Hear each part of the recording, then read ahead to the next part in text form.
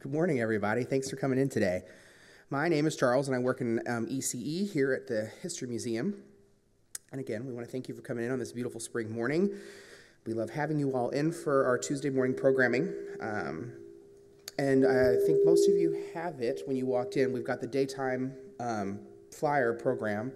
It has all of our daytime programming from now until the end of August. So if you didn't get one of those, please pick it up. We also have the surveys that I've handed out that I will collect at the end. Just let us know how you feel about the program. We really appreciate it. Um, we have daytime programming here on Tuesday mornings twice a month. And every Thursday night, we have programming here called Thursday Night at the Museum.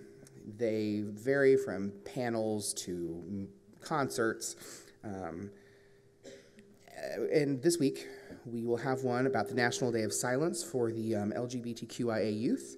We have happy hour every week before these from 5:30 until 6:30. We have salt and smoke barbecue and drinks for purchase upstairs, and then at 6:30 we'll have the main stage program down here.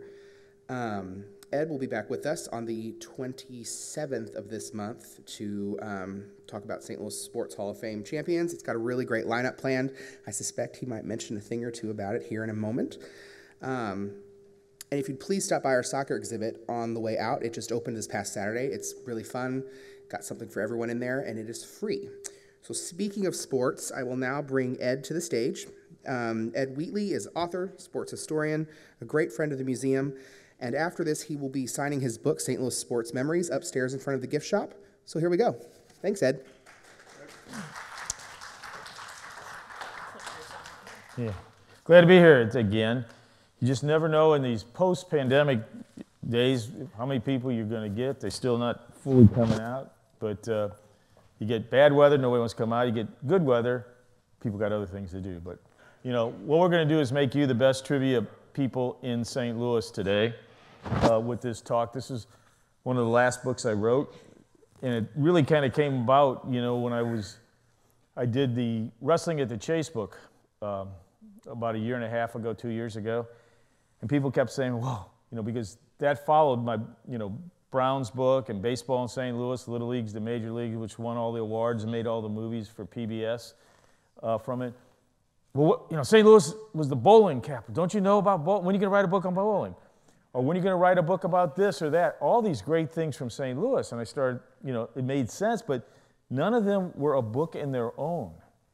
So I went to my publisher and said, I got these ideas. I mean, you know, people don't know all the stuff we're going to talk about here in a moment. But it all happened here. And when you put it together, and since writing this, St. Louis is really the best sports town in America. Nobody has the history that we have. I mean, the length of the history. Yeah, New York, Chicago, Philadelphia, Boston, they got great histories. But once you start seeing the diversity of the sports, the diversity of the athletes, the things that originated here, it's amazing. You know, you go down to Dallas and Houston, I mean, they were nothing prior to the 1970s. You know, and you go out to Los Angeles, it wasn't until the mid to late 50s that they started rising in sports when the Dodgers and, and the uh, Giants went out there in 58. But what we have here is something special. And I also wanted this to book to be something special because, you know, a lot of my books were the big hardcover uh, coffee table books. And I mean, they were great. I mean, won a lot of awards for them, but that's not what th- that was about. This was about, I wanted to get this message out. So the same brilliance of color and quality of paper that was in all those coffee books are in this, but I said I want to put a soft cover, and I will put my usual 500 plus pictures in it and my vignettes, and but it's got to ring up less than $30. And, you know, books, coffee table books are hitting the mid 40s, the 50s, and you know I wanted this the message, and that's really what we did. And like I said, the quality is there. One of my biggest memories, I've spoken at Cooperstown many multiple times, and one New York, all he wanted to talk about was not the book, but the paper, the pictures, the brilliance of the of the pictures of the Browns book, and it was like, what about the story, guy? But let's talk about the best sports town in America. Yeah, these are the books I've done, and the films that that we, we we've we've done uh, for PBS, three of them, and you know we've won Emmy awards and best books of baseball, but that's history. What we want to talk about today is a different history. Why is St. Louis the best sports town in America? It's got a long history in sports. I mean, our history goes back before Abraham Lincoln was president, before the Civil War. I mean, you know, the first professional baseball games were played in July 1860. But the one thing I mentioned baseball up front, we are not a one sport town. Definitely not. And that's the thing that makes this thing so special this history. And it's the diversity of sports. When you start thinking, you know, yeah, we got a soccer exhibit, and, you know, soccer's the big boom thing right now. All the other sports. And that's what we want to talk about. And the athletes is, you know, the diversity. I mean, there's going to be some stories in a minute you're going to go, wow. And the thing about this, when I went wow a minute ago, in writing this, my wife either called me Harry Caray or what's going on in your office because I'm either saying wow or holy cow, you know, as you start researching these things. That's what pops out with these stories for both the amateur and professional ranks of St. Louis sports. You, whoa, that, there's another whoa. Uh, it's not just the championships won. Sure, you know, we got a lot of championships in baseball and other sports, um, in college sports. It's the innovation and then some of the most special moments in sports happened here with St. Louis teams. You know, we were, as I just mentioned, the bowling capital of the world. You know, remember back in um, the, the, late 60s, or during the 60s and early 70s, ABC regularly ran bowling on Saturday and Sundays, and most of it came from St. Louis. Most of it came from the Arena Bowl, which, if you don't remember the Arena Bowl, was just um, west of the arena as part of their uh, parking lot and things. And we had some of the great teams, and we're going to get into them. You know, today we are the chess capital of the world, not America, but at the world. And that's by the decree of Congress and the United Nations. And it's just down the street up here, the Central West End. Um, you know, more chess grandmasters live in St. Louis than any other city in the world. I mean, you think about Budapest, you think about Moscow, and you think of all those European countries. No, St. Louis has more than anybody else. Of course, the exhibit upstairs, we are the soccer capital for sure of North America. We compete against other cities, you know, like Brazil, back when Pele and, you know, some of the uh, teams in Europe. But there is no question. And I don't care if you Google what is the soccer capital of America, I don't understand it, but it comes up Kansas City. It's like, what the heck is this? You know? They don't have a history. I mean, Kansas City, again, is one of these towns that really didn't evolve until the late 50s and the 60s. The history, when you study and go into those chapters on soccer, and this book is built with all kinds of chapters, and not only is it soccer period, it's, it's the, the amateur youth soccer, the, you know, the college soccer, the professional soccer. Kansas City doesn't have. That's a, you know, that's when I always say, don't believe what's on the internet. Believe it, what's in this book.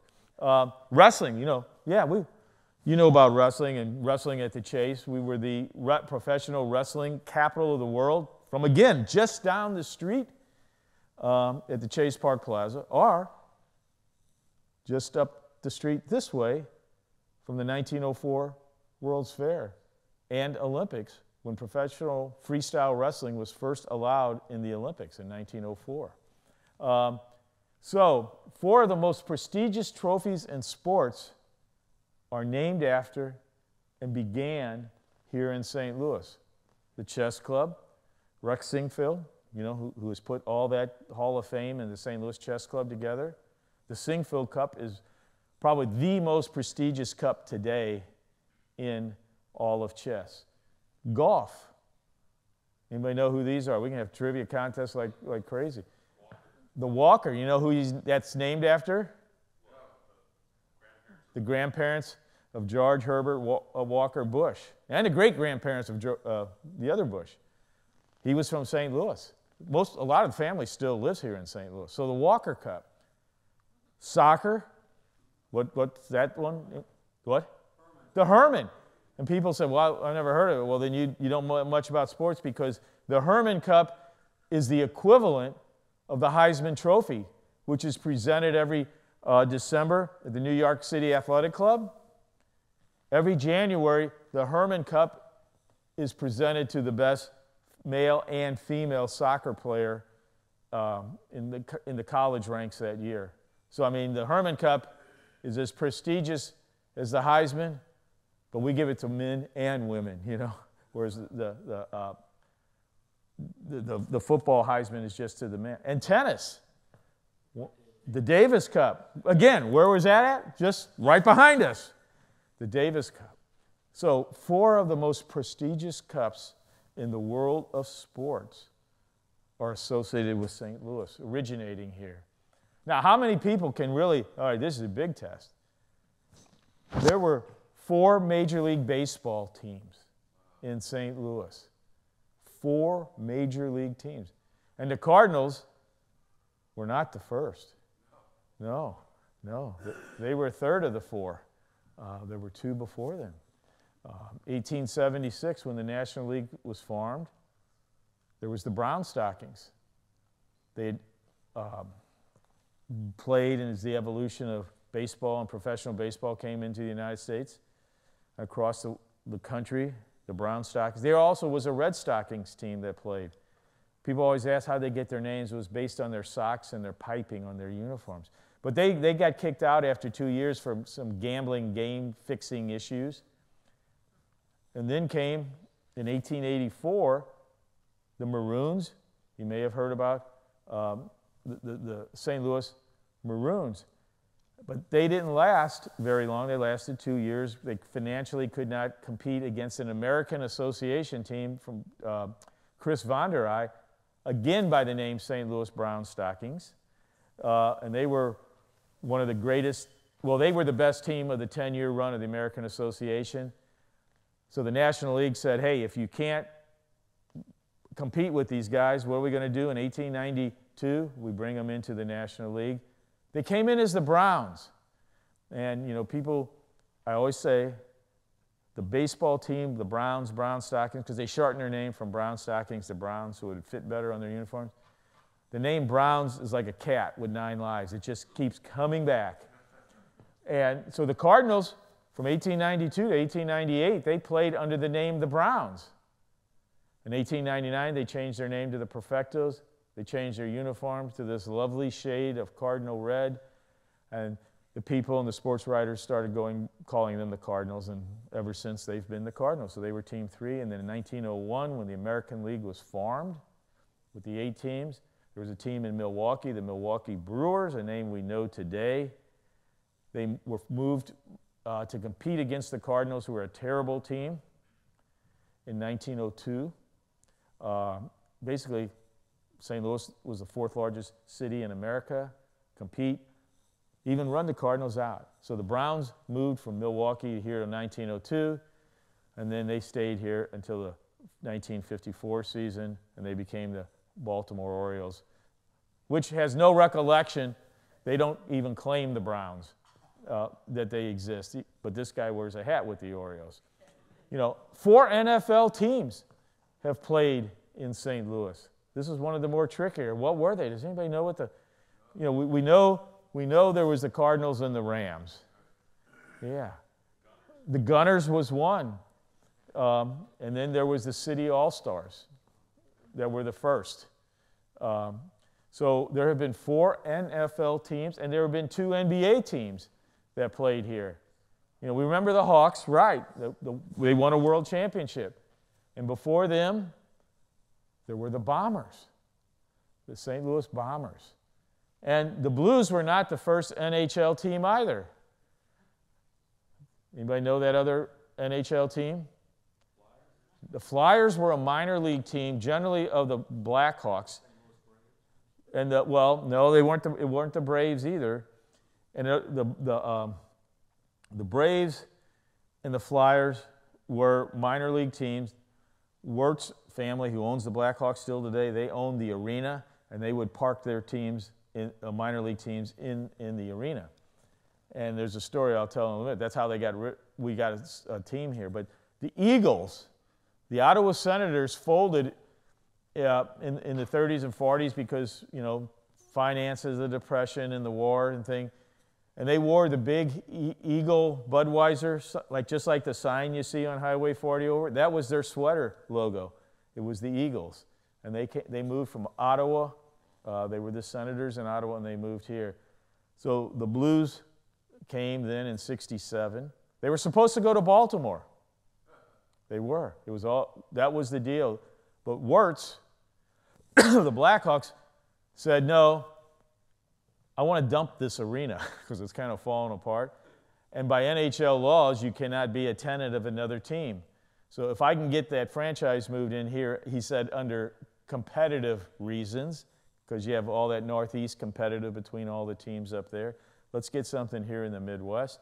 And that's how the Blues came from Baltimore. There's a lot of stories between St. Louis teams and Baltimore, St. Louis teams and Atlanta that go back and forth through all this. But I mean, in itself, there, two NBA teams, two NHL teams. Nobody knows a lot of these are the four major league. And you know, and I didn't even mention the two Negro League teams. You know, we didn't talk about it in the NBA. People will says the Spirits, but they were an ABA team. They weren't in.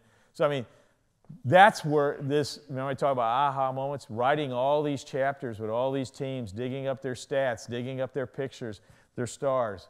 You know, every major professional sport, thanks finally with the Blues, has hoisted a championship trophy.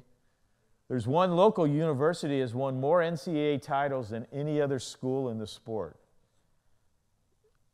Any idea? It is soccer, St. Louis U. They own 10. They own the most. And it's, it's funny between. Uh, and what?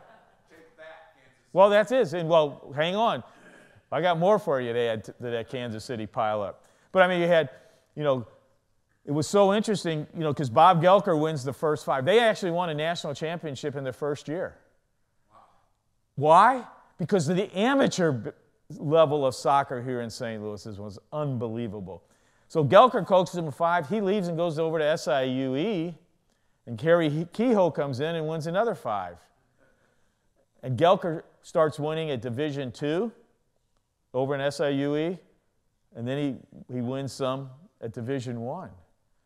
So we have two really great programs at Division One soccer.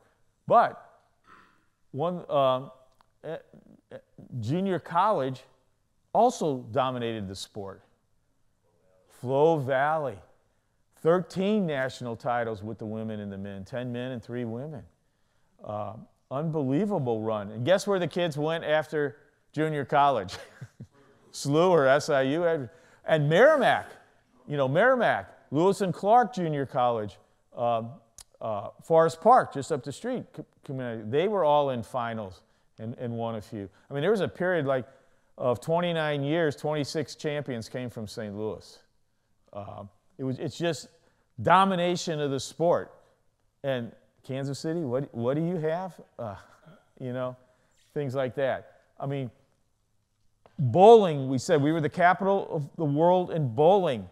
Lane's records were shattered here and are still held today. Everybody, Team Budweiser, remember them? They were the big, big to do in the late 50s and 60s and even in the 70s. Um, 1958, they shattered a record that had been held for almost 30 years. Down in Floris Lanes. Anybody ever bowl at Floris Lanes over at Warney and uh, uh, kind of like Broadway area? It was a multi story um, bowling alley, uh, three stories. Well, the record they shattered, I mean, and they shattered it by, uh, and when I say, you know, they took the, the, the, the team three game record, just unbelievable. But it had been held by the Herman Undertakers from St. Louis, who about three decades earlier set the record in this same bowling alley, Floris Lanes.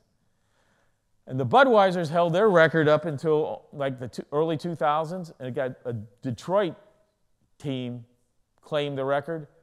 But during the pandemic, it was once more broken by a St. Louis uh, shelter, Shield Shelter insurance team out of Concords Lanes. They are the, the, for the most pins in a, in a three game wow. series.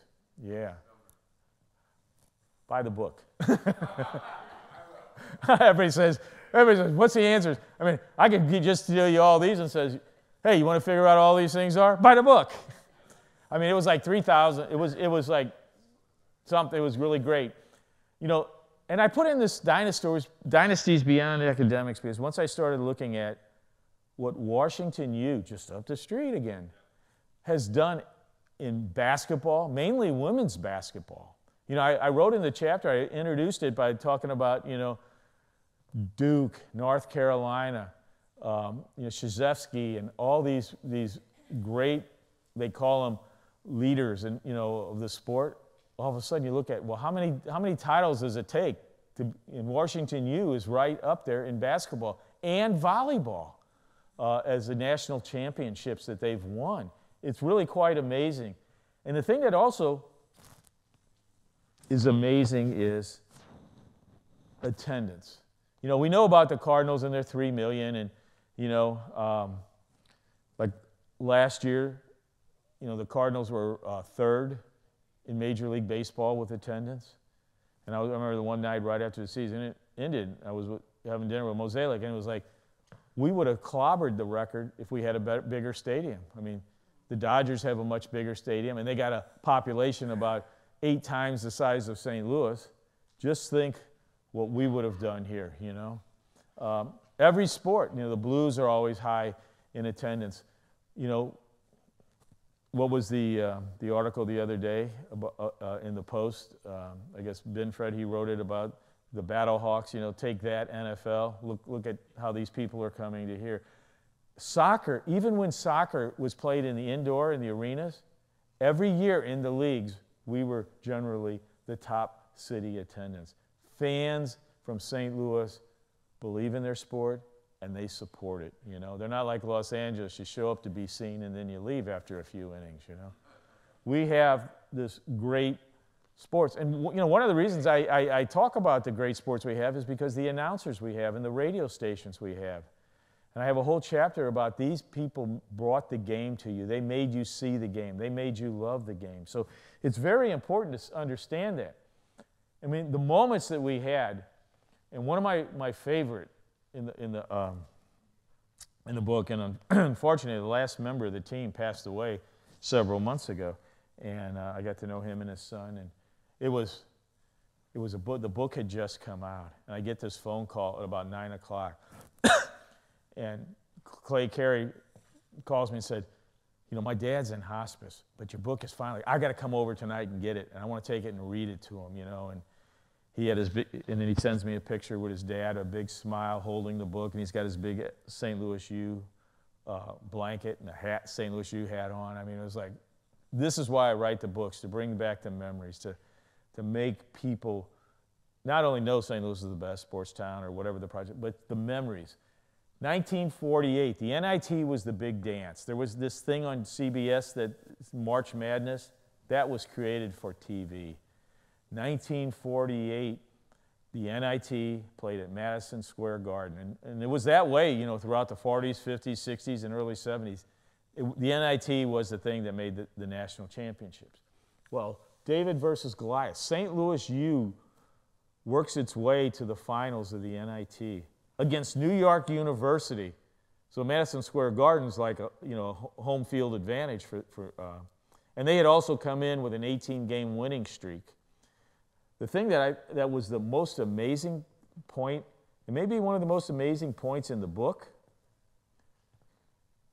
you think of basketball teams and you know recruiting and all this stuff that you hear about today. When NI, when, when St. Louis U went up to the NIT and played New York University and destroyed them, they destroyed them in this game. Every player on that St. Louis University team came from a St. Louis high school. I mean, that is a shock. That is an oh my, you're right. That every single player, and they were led by Ed Macauley. Yeah. But I mean, it was the other guys too, even though Ed Macauley at halftime had more points than NYU. Uh, and they had a big lead. And they really could have run up the score, but Eddie Hickey, the, the coach of, of SLU, brought in the third string to get you know, even towards the last five minutes or so to let them uh, taste it because they had such a big. I mean, this is one of the most amazing um, moments in, in, in St. Louis sports, or in all basketball history of college sports, that David beat Goliath. I mean, they, everybody had New York University already winning this thing. You know, this was one of those aha moments that few people can answer correctly. St. Louis had the first female owner of a baseball, Major League Baseball team, and NFL football team. How about that? You know, Helen Britton inherited the Cardinals when, when, when her uncles died, the Robison brothers who ran it um, after Chris von der Ahe sold the Cardinals. And she took over and ran it in the 19 teens. You know, she was the first lady. They called it petty, petticoat rule of baseball. Um, and then she eventually sold it to Sam Breadon. And, you know, he then, you know, put the Cardinals on the map by bringing over uh, Branch Rickey from the Browns and winning pennants in 26, 28, 30, 31, 34, 42, 43, 44, 46. That really, you know, encapsulates what a baseball. So we had the first female, but we had the first female owner of an NFL team. She brought her to St. team to St. Louis. She won a, she had a, uh, a NFL title on her resume, and it wasn't Georgia, guys. Everybody's going, I got it, Georgia. Wrong. Read the, who is it? Violet Bidwell. Violet Bidwell's husband, Bill, had run and owned the Chicago Cardinals for, uh, they were like, they are the oldest, oldest contiguously owned team in the NFL. And he had had them from the 30s, mid 30s, when the NFL was created. And in 1947, they won the NFL title. He had died earlier that year, so she inherited the team and she won a title. And um, she had disagreements with the city of Chicago. And she pioneered the way for Georgia. And she wanted out. And everybody loved the Bears because the Bears were in the big run of the, of the 50s. And the Cardinals, did, they weren't very good in the, in the 50s in Chicago. And she wanted to move her team to Baltimore. And she had a lot of lawsuits going with the NFL. I mean, it was just like Georgia Frontiere. Um, you know, uh, 40 years later. And she actually brings them to St. Louis. Finally, as she's threatening to sue the NFL, and the AFL was being created, and the NFL finally capitulated and said, "We don't want the AFL in St. Louis.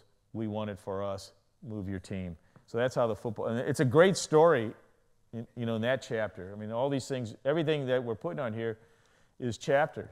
You know, and as far as females and soccer. The first female, Lindsey Kennedy, was the first female to play on a professional soccer team in the MISL here in St. Louis.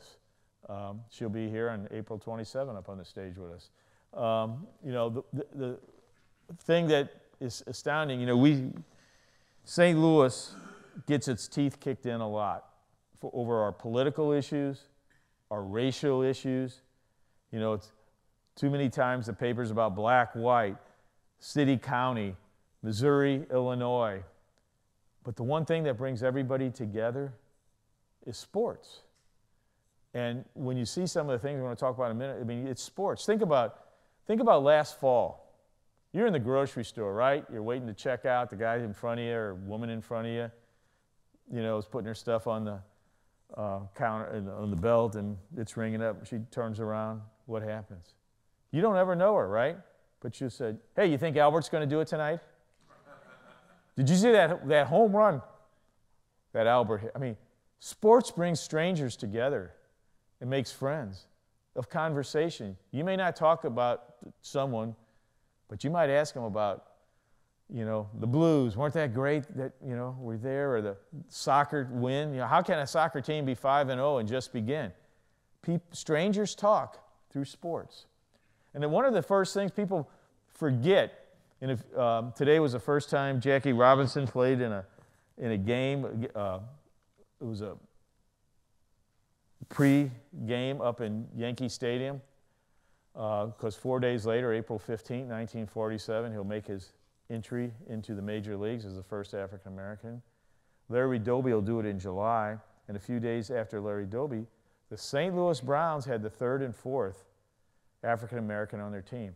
They were the first team, period, to have two black players on their on there. And they took them, they brought Willard Brown and Hank Thompson from the Kansas City Monarchs, just like Jackie had come.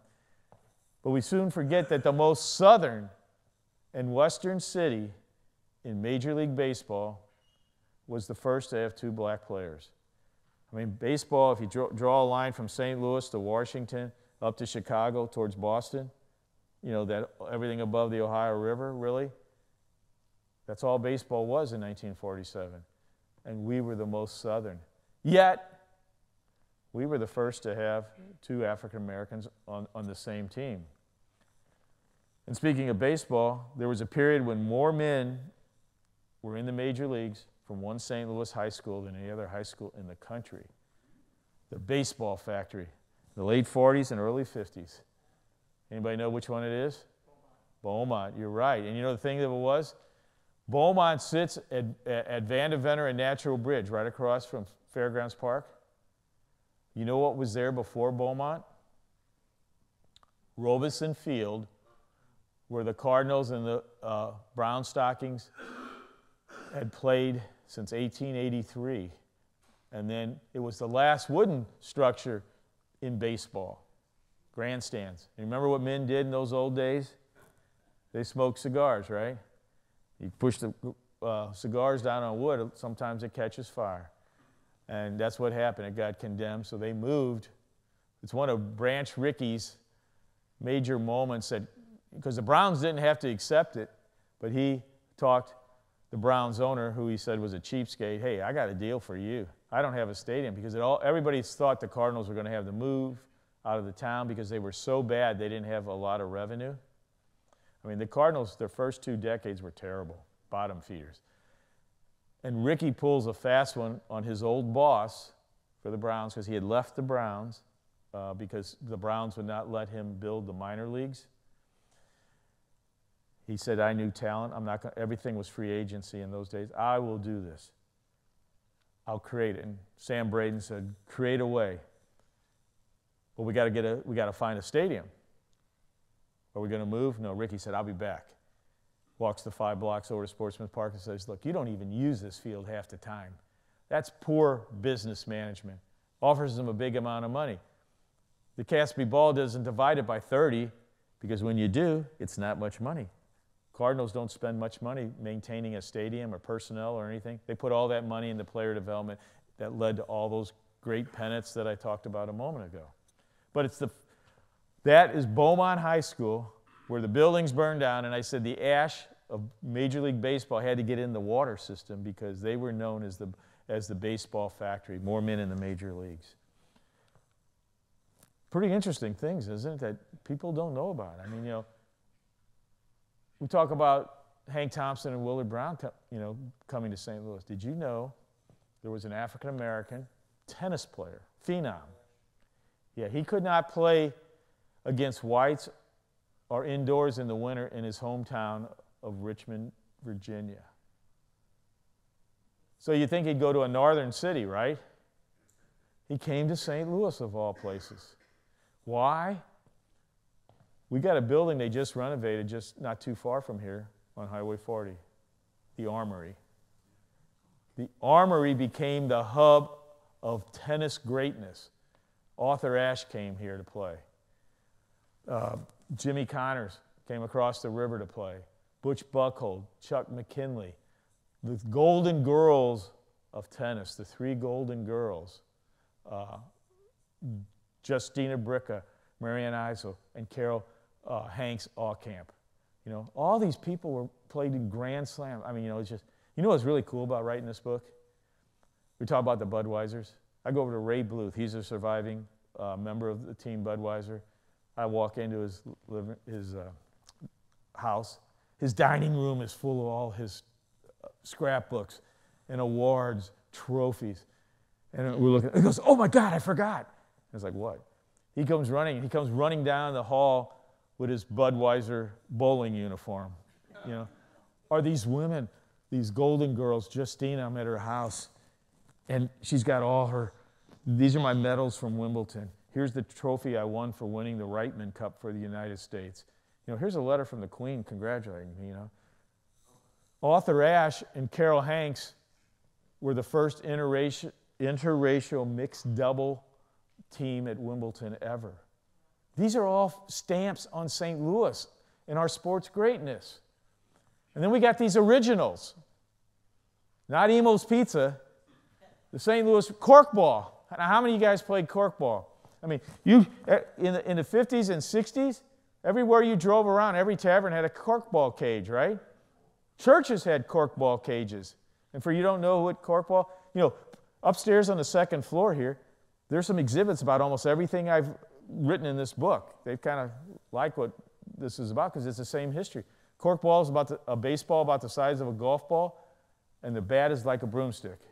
And it, you know, it was a phenom. And it led into Indian ball, fuzzball, and sometimes they didn't use a ball, they used bottle caps. So, I mean, this, I mean, I've got stories of Yogi Berra teaching the Yankees how to play corkball in Yankee Stadium. We've got pictures and stories from Yogi and his family. Our, our men out on aircraft carriers in the Pacific Ocean during World War II and Korea playing corkball on the flight decks. I mean, and it all came from St. Louis. And it was taken all over the world through soldiers from St. Louis to where they were deployed. And they taught everybody this game. And the Khoury Leagues, the Khoury Leagues. George Khoury created the Khoury Leagues. Little League Baseball. How many of you played Khoury League Baseball at some time? It was in every state. And then in other countries, again, through soldiers telling about it and creating it. Uh, 1934. He, he created, his wife, he had, he had several sons, create this sport, some leagues these kids can play baseball in so they don't become, her words, not mine, hooligans. So Khoury was created. And it was, it was, it was so much fun for kids. And all the towns would have their big Khoury League parades and everything, opening up baseball. You know, now kids, kids don't play baseball that much, you know, unfortunately. And secondly, these um, communities, whether it's Kirkwood or Pond or Afton or Florissant, whatever, they wanted to take over and run it themselves as opposed to the Khoury Leagues. But I will tell you, in, in doing my baseball in St. Louis, the little leagues, the major leagues, everywhere I would talk or I'd be on TV talking, everybody brought up, I played for the Khoury Leagues. I made the All Star. See my picture, my team picture.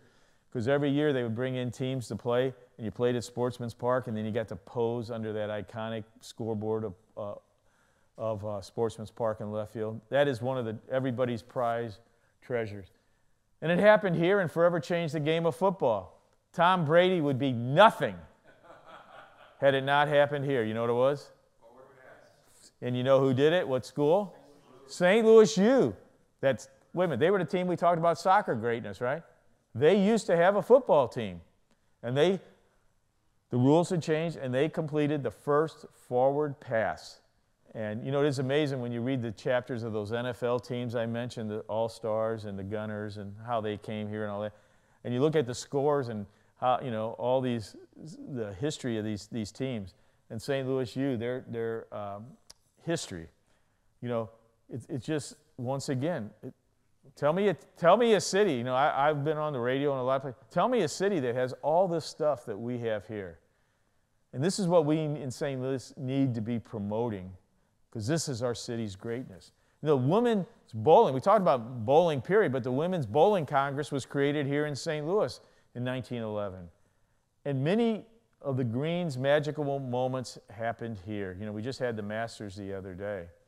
Now, we've not had a Masters in St. Louis because that's always done in Augusta, but we've had a lot of things since 47 when in 48 the PGA and the US Open had their first things here. But these matches that took place in St. Louis, you might all remember 2018 when Koepka and Tiger had that amazing uh, run out there in at, at Bellerive.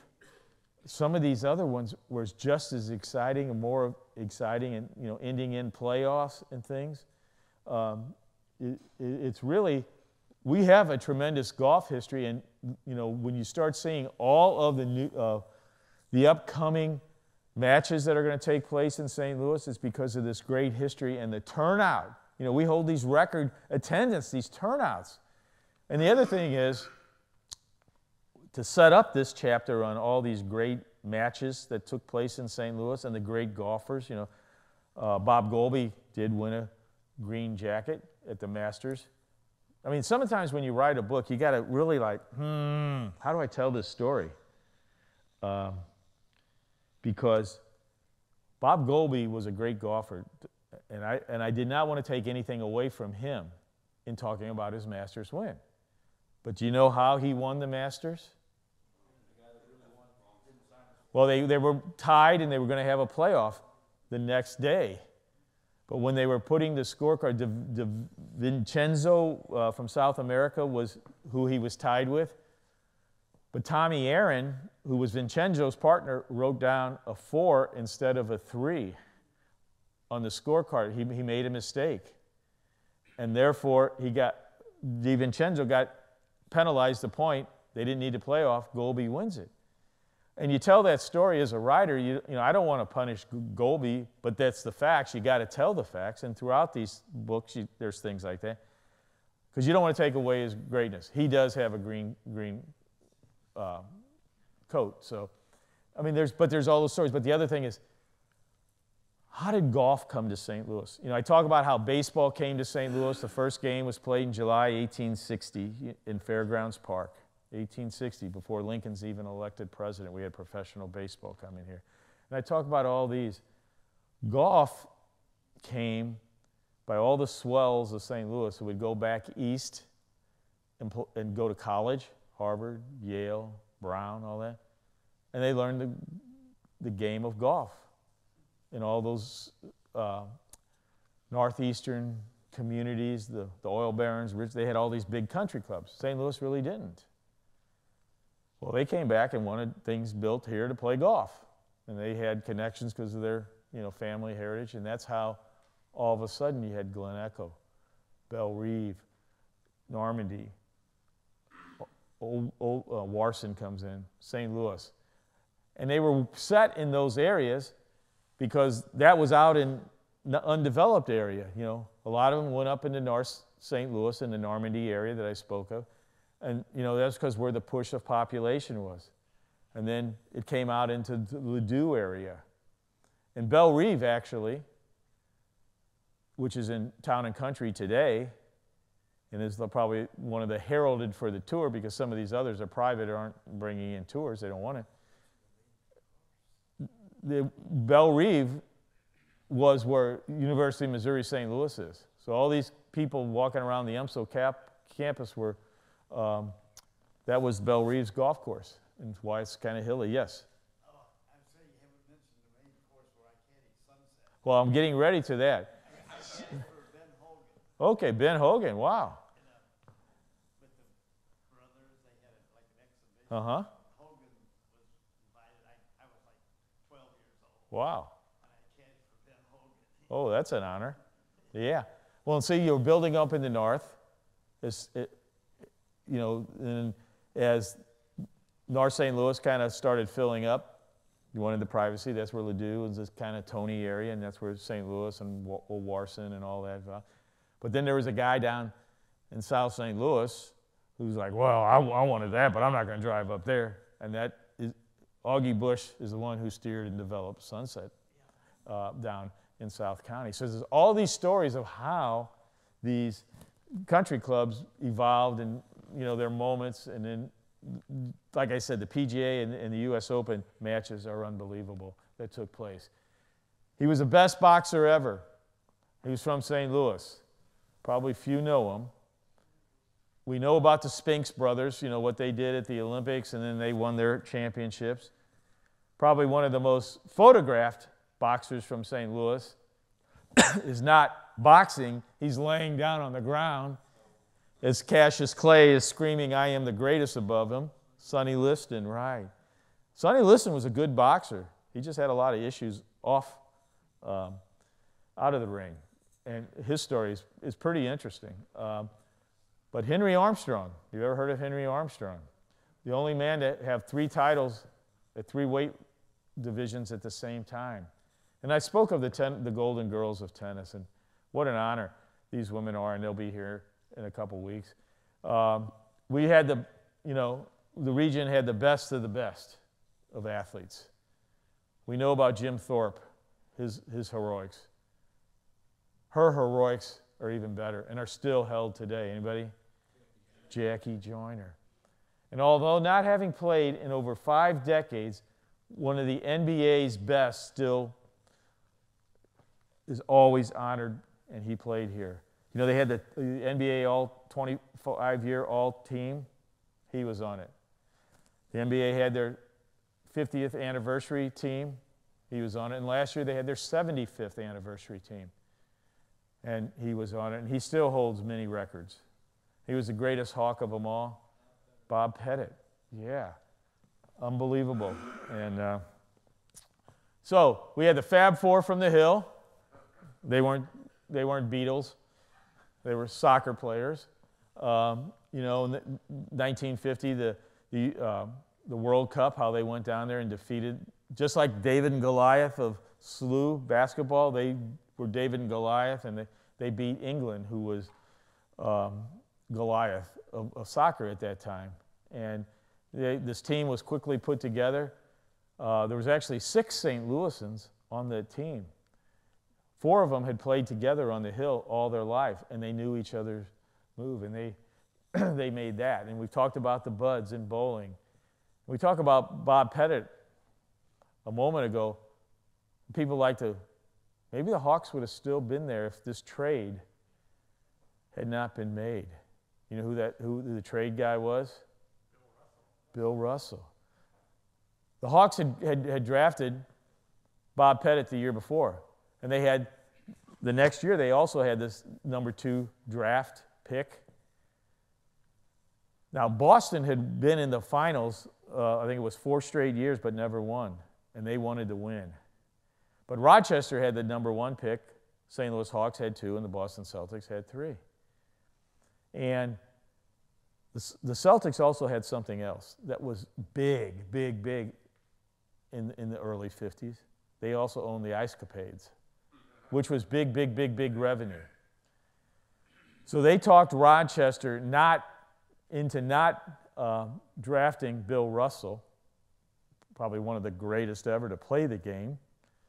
Um, if you don't draft him, we will give you this long term contract with the best dates of the season for the Ice Capades. Because that was big money to, to, to uh, cities, the Ice Capades. So Rochester passed on him.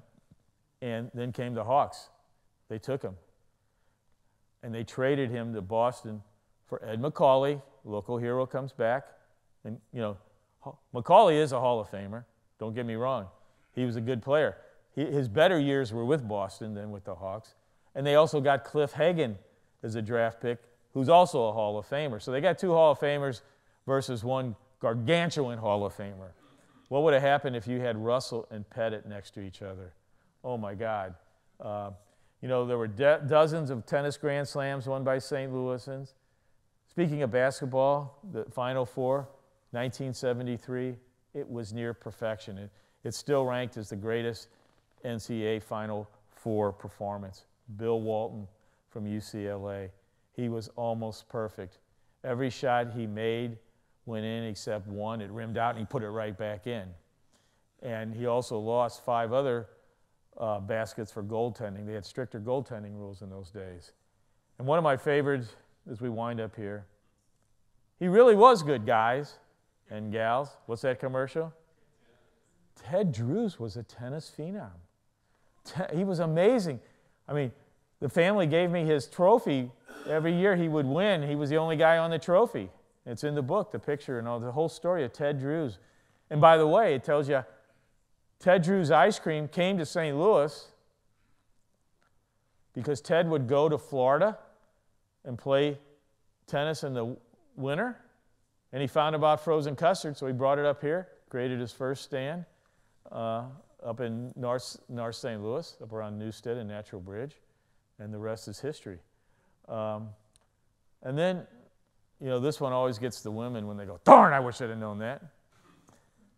A Hollywood legend one of the things I, when I write books, I like to take people back. You know, all my books are big in advertising, to go back and see. You know, it's like when I schools have me come in and talk about how to write books and all this, and I have a, a children's book, Incredible Cardinals, that we talk about how I built that. It's about the guys on the left field wall because nobody knows who the guys on the left field wall. You know, if you're under 40, most of them are the old, so we teach them about. But um, you know, I like advertising, and I like. There was a special moment. Think about this. It's 1960s, early 70s. You only had AM radio on your dial, driving around your car, and all of a sudden you'd hear. And people tell me they hear Stephen B. Stevens from KXOK. Remember that radio station? In their mind, going, "Be there Friday night, Mid America Raceway." You know, you hear that when you read it. All of a sudden, you hear it's, it's that if you can, you know, just like music, you'll put yourself in a place where, you know, this girlfriend or that girlfriend, you know, whatever. But this Hollywood legend would always be out. And we had so many racetracks Valley Park, Belleville, Wentzville had several, you know. But Mid America, MAR, Mid America Raceway, there was one guy always there driving his race car.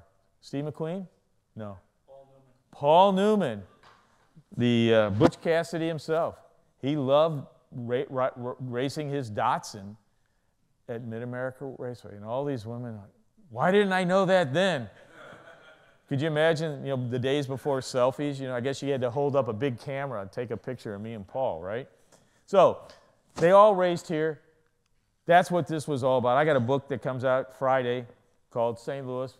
My publisher wanted to teach these young kids the history of Cardinal baseball beyond just the guys on the left field wall. That comes out uh, Friday.